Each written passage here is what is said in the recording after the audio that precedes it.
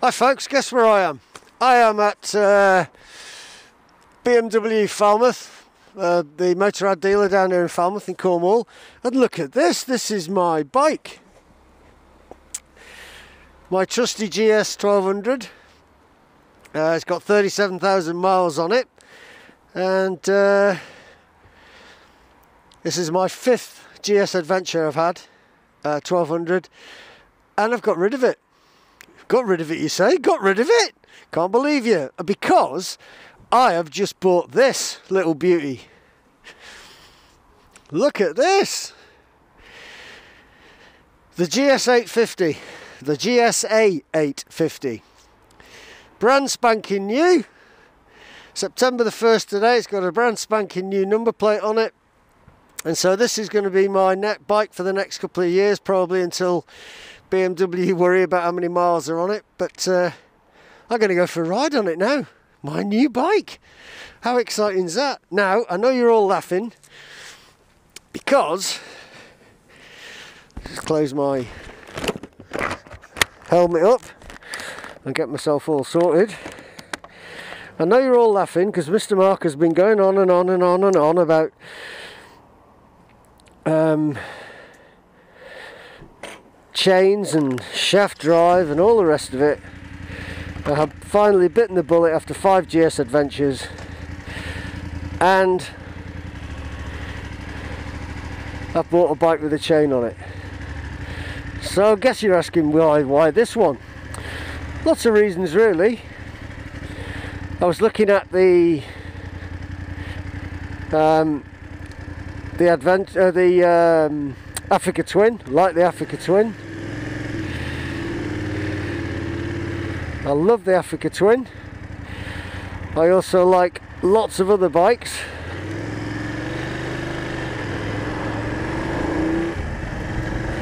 Um, what else did I like?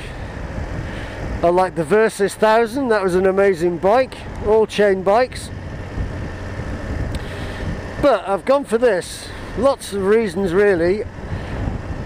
I like the BMW um, brand and um, how we can use it while we're on tour.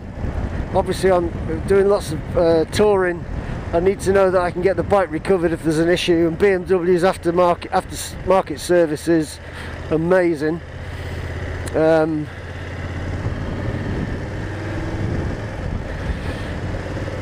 I need to know that if I'm in a foreign country and something goes wrong I can get it sorted quite quickly which is what they do very well and they have done for us many times. So that's that was one reason. The other reason is uh, I actually like the bike. It's very similar in every aspect to the GS Adventure 1200 or the 1250 as it now is. It's got all the bells and whistles on that my old bike had. Everything that that had is on this bike. Um, and so it seemed a natural uh, progression really. It's a bit lighter so I don't need to beast myself by moving when I'm moving it around such a heavy bike. The uh, one of the main things though was when why I chose this one about against other bikes was when I moved this uh, when I got this one I could take my Bumot panniers directly off my GS Adventure 1200 and they'll fit exactly onto this bike uh, without any uh, any modifications or anything like that. Now if I'd have bought a, a, an Africa Twin I would have had to uh, buy either new panniers and I'm not sure they do that they were able to Bumot, I'm not sure they would be able to um, fit the pannier system because I think it's a hook system that they use on there. I don't think it's metal frames, can't remember now. It's been so long. Certainly wouldn't fit on the Versys. The Versys has got one of those systems where it all uh, hooks into it. So it just made sense. And the other thing is the people at Motorrad in Falmouth there Ocean uh, BMW did me an awesome deal. When it comes down to it it's all about money isn't it? So I picked this up today. Dropped off my old bike which I must admit I'm sad about. It's got 37,000 miles on it. It's just two years old. Um, not hard miles Uh, it's no, you know, it doesn't get raced. It just bimbles along when I'm on tour. Um, I use it pretty much every day, which is why it picks the miles up so quickly. But that's what bikes are for, isn't it? I'm not one of these people who would have a bike sat in a garage for um, months on end because it's raining or anything like that. That's not what motorbikes are about, I don't think. So I've got this. Obviously lots of stuff to put on it. Stuff that fits the GS that generally quite a bit of it fits this as well. So I'm quite excited by it. And we'll be able to give you a long-term uh, report on it. See how it goes. But I chose this colour scheme. I actually wanted the Battleship Grey. But they don't do battle, the Battleship Grey with gold wheels. Gold wheels, you say? Why do you want gold wheels? Well, I want gold wheels because the black ones on all my GSAs are a pain in the neck to clean. and I hate cleaning my bike. So, um, gold wheels, you don't have to worry about that so much, do you? People are saying, oh, an 850 it's not really as good as the uh, as the 1200. Well, I think that's a bit of a fallacy, you know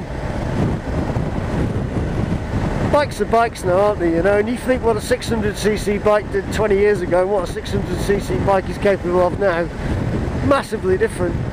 It's only 94 brake horsepower, this one, and the GSA I think was 130, might have been. But you know, none of us are using that capacity of the bike, are they? You know, people who are riding racetracks are using the bikes at their maximum capacity. Most of us, I would say 95% of us, unless we're on a track, are just poodling. So this has got a quick shift on it. It's got heated grips. It's got ABS. It's got ESA. It's got all the bells and whistles. And I'm really looking forward to riding it. So, luckily it's a nice sunny day. Normally I pick bikes up in the pouring rain. They go, oh, just be careful to scrub the tyres in. Well, this bike had got 14 miles on the clock when I uh, picked it up. So it's got all the stuff, the TFT screen, it's got you know USB connections that will be fitted to it. And we're really lucky that uh, a company called Nippy Normans have said they'll provide us with some stuff to review. So I'll be able to get some review stuff, which will be really nice, I'm sure. Anyway, there we go. New bike. Morning, Mark. Oh, hello. Look, big, excited, smiley face I've got. Well, have you got a black 1200? No, I have this little beauty here, look, there's my new bike. Don't look at the chain. Oh my god. it's an 850 GSA. Wow. Brand spanker, mate. Loving the loving the colours. I like the colour. It's not the, I didn't think I was going to like it to begin with. Yeah. Oh, there's a bit of a scratch there already. Let's oh well. back then. Oh, definitely have to go back. Anyway, there we go. Gold wheels. That's all about the bling, in it? It's all nice. And Mark used to be so unsuperficial. Best thing about it was I could take these panniers off my GSA, my 1200, and they fit straight on here. So I've saved myself loads of money, haven't I? You have. But I love it. I've already picked it up and done a little ride on it, so um, you know how I feel about it. I've had it a couple of days now, and it's uh, really quite an enjoyable ride. It's less it's less heavy than the 1200. It's about, I think, about 25, 30 kilos lighter, something like that. 23 litre tank. So the tank gave me 360 miles starting off. I was amazed because, like, on the GSA, uh, on the 1200, I was like getting that on tour perhaps. But uh, it's doing 62 miles to the gallon at the moment. Wow. Which is pretty smart considering it's not even done 300 miles yet. But a couple of things I've added to it. I've put the uh, big handguards on it. Now they're the same ones that we had from Nippy Normans for the 1200, so they fit Yep. on both of them. Easy, same, same. Exactly the same handguards. I've also taken the uh, rubber bungs off my old foot pegs. They came from somewhere in Italy. Yeah. Did that. Stuff to put on. So much stuff to put on. But I really like it. It's uh, the only thing I don't like about it though is this. Look, the GPS. And on all the forums, it's the same GPS as any other it's the GPS. position, mate. Yeah. It's So not in your eye line. Here, look at that bike in front. Mine. What the blood bike? No, the one in the middle. yeah, I get what you get what you're saying because I guess when you're sat there, you you've got to look down there, and I wonder whether how much you, how much reflection you're going to get. You get apparently on all the forums are saying it's a really bad angle to have it at. So I've ordered from Wunderlich Yeah, a bar that goes across here, across the screen, yeah. and it will be fitted in your eye line like it is on on the bigger bikes, uh, which would make make it much I better. like that. All of a sudden, you've had this bike for how many days? Four days. And now you're talking about people like me riding bigger bikes. Bigger bikes, you know. This is a baby bike. Yeah, it's all right. It doesn't matter. It doesn't matter. smart it's very smart. It's got all the bells and whistles. It's got every single thing that my GSA had Yeah. on this as well. So that's pretty cool. Uh, it came with data tag and a tracker. It's also got my Monimoto tracker on it, which is easy, easy to hide on this bike. Yeah. And uh, yeah, very excited by uh, the prospect of riding it. You, you look really excited. I am. This is his excited face. This is my excited face. This is my unexcited face. This is the sun in my eye face. Yeah. Now you've ridden this, I have. not very far yet, but you've ridden it, and you said that you were doing 70. And what did it feel like? Nice. Felt really fast, Did it? which is bizarre because when you're on when you're on the bit on the bigger bikes, um, the bigger bikes, but they're on the big boys' bikes, you're sort of sat in it, if you see what I mean, and you're surrounded by. It feels like you're surrounded by bike. This has the same sort of dimensions as a, as the big GSAs, but it feels a little bit more raw. Do you know what I feel mean? Like you're on it. Sort of, yeah. I mean, the seat is not is not as sat down inside it as you would uh, on the other bikes, Yeah. But um, certainly 70 miles an hour on this feels like you're doing 70 miles an hour. But that said, people on forums as well have said, "Oh, this screen's rubbish. You get a lot of buffeting on the helmet." I've got a peaked helmet, and I have had no buffeting at all. Maybe I'm slumped when I'm riding. I don't know, but Well, you are three foot tall. I am three foot tall. But you can adjust it, and I just have it set up like that. Do that again. Oh, look at this. Look, there's a big lever. And do you know what? That's easy, isn't it? That's like none of this screwing thing. Yeah, that's really good. So, uh, yeah, so I like it. TFT screen, all the bells and whistles, LED lights, LED running lights, gold wheels. all these come as standard. Yes, Yeah. um, yeah, I think so, yeah, on this bike. gold forks, gold wheels. It's all about the bling. at that. But, and I had to make. Look. This has got a protector in it. Hopefully Yeah. you can see it because the light's not that great, but there is a protector on Yeah, you can buy an aftermarket one that goes on the top as well, on top Yeah. of that. But and I can't I can't shy away from the fact that I had to make a massive, massive. What are you doing? Following me? Where, where are we going? We're going this way. A oh. massive compromise because da, da, da, it's got a chain. What the hell is that? I have no idea, mate. So I'm looking for advice on what I've got to do with it, and now I look after it and tidy it and clean it. I do have an oiler, a PD oiler to fit at some point, but uh, But I do think that when we're talking about chains, that's much of a because we do so many miles and we see so many people having to lube it up every night and do loads of stuff. But that's years ago, isn't it? Perhaps Yeah, yeah. Completely different. they are now. I know they are. I think this might be the turning point for Mr. Mark. Well, I've had loads of chain bikes. I've just had five GSAs that have been shaft drive, and all the blood bikes are shaft drive. So uh, I've become very lazy. Yeah. But you know, looking forward to it. I do feel like a television reporter here, like that, in my fantastic Well, shorts. It is COVID, so if we stay above the waist, we can get away with anything. But So, yeah, switch gear and stuff, exactly the same. everything the same. Yes. There's a couple of slight differences. Yeah. In as much as if I switch it on, Okay. So you still get the nice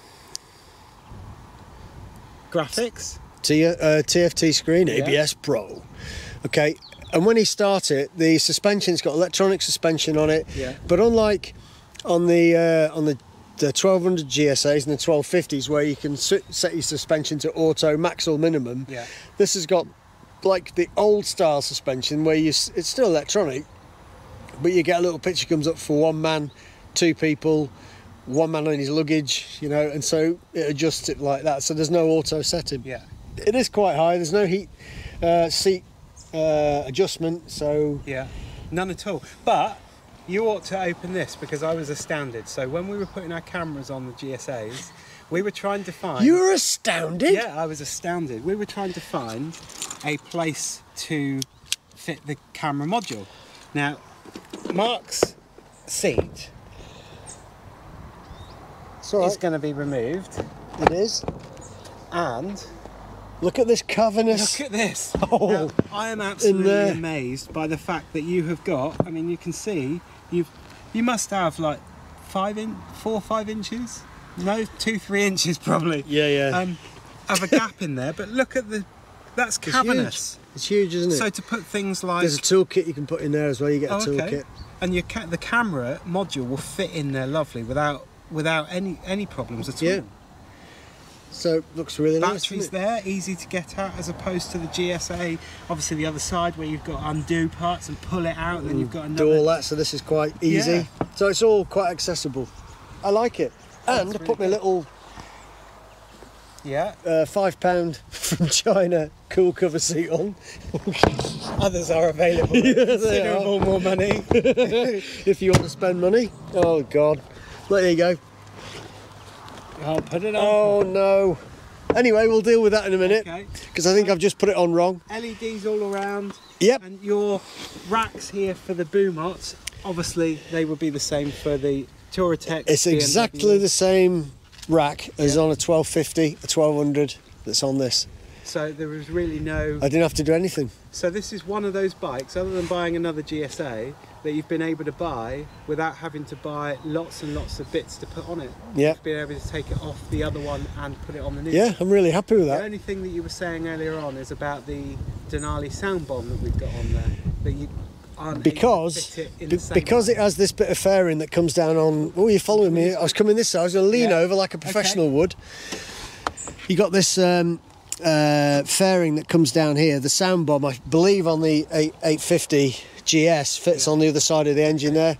Um, so I just find a way of doing it. I might have to stick Yeah. it somewhere else, but it'll still find somewhere. The same same mirrors, same control. Same mirrors, everything's the same. Yeah, Shall I switch it on? yeah.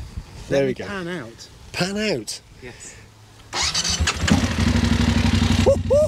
Sounds lovely. The sounds great. And as you're driving along, I switched it off now because I'm shouting. As you're driving along, it sort of grumbles. I've noticed it, it sounds louder than the bike should be. You know what I mean? You get people. I've, I've been through Perranporth a couple of times, and you get holiday makers. What's that coming through? And it's just this my little 850. No, but I, I, I really like the styling of it and the colours because you didn't really want this colour, did you? I wanted the battleship grey, the German battleship grey, because I thought that was amazing. But they wouldn't do it with gold wheels, would they? Can't be done in gold wheels. Anything can be done if you're the customer. That's the way it should be. isn't it? Apparently not. I hmm. did try. So this was already in the UK, and they locate. I did like the blue one as well. And they located a blue one that was in Germany, and they said they could get that over here just in time. But I got this instead. I like it. I really do like it. The GSA exclusive. It says it on the side. GSA exclusive. There's posh. I think it's a really, really nice looking bike. And to be honest, if I come back out, I know I've got a couple of bags on my bike, but that's the hey. two side by side. And to be honest, Come here. to an untrained eye, you wouldn't really know the difference between the two, would you? Obviously, if you're a biker and you are, uh, you know your bikes, you know it's a different bike. But if they were going past you together, it would look like they're the same bikes. I think so. Um, and they, they're not particularly different sizes. Obviously, your front wheel is bigger 21 inch wheel. rather than the smaller one on the on the GSA of mine on the left. Yep. But what a lovely machine! Oh, thank you. What a lovely. Thank you.